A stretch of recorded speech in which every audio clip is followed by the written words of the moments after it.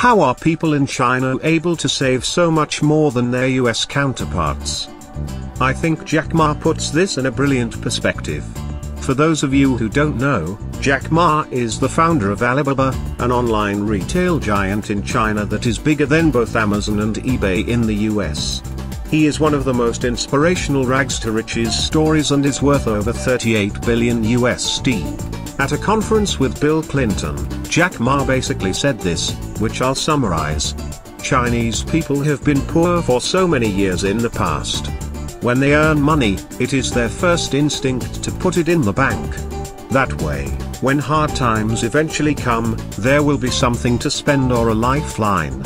Chinese people worry about the future so they make preparations.